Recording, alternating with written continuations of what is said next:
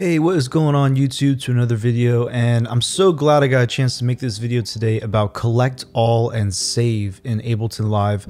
If you're an Ableton Live user, uh, thank goodness you clicked on this video because this is such an important feature if you haven't heard of it.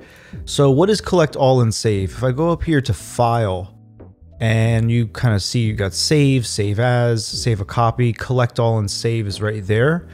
Um, this is an extremely important feature, and really I wish that Ableton had a, a keyboard shortcut for it because I use it every single day. Basically, I want you to imagine a scenario where you try to open up one of your session files in Ableton from maybe a year ago or even less, and you know something might have changed maybe you have a new external hard drive you move some folders around on your computer uh, whatever and basically you pull up the session file and some of these samples that you were previously using, maybe a kick sample, a snare sample, they're just simply missing.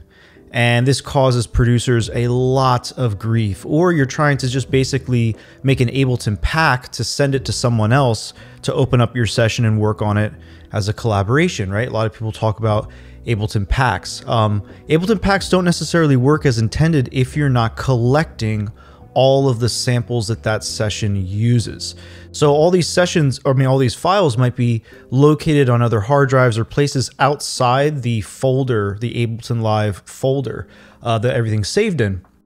So if I go to collect all and save, what this is going to do is say specify which used media files are to be copied into the project. So Ableton will then source everything that you're using, make a copy of it, bring it into that Ableton session file folder and reference it from there. So everything is in one spot. That's collect all and save. And I just put all of these on yes. I hit okay. And no matter what happens, now everything is there. So if I want to go now and make a pack, this is when you want to collaborate or you want to bring an entire session, unpack it on a different computer somewhere else.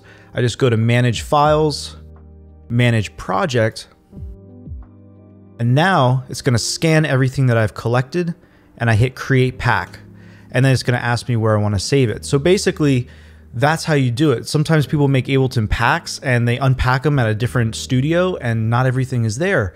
Or even worse, years later, you try to go back to your old session folder, uh, session files, and stuff is no longer there. So essentially, you, you haven't really saved anything. You've lost those session files from years ago and you can't reopen them again, right? Which is causes people a lot of heartbreak. So yeah, if you found this video useful at all, hit the like button. Make sure you subscribe if you're into Ableton Live and music production topics.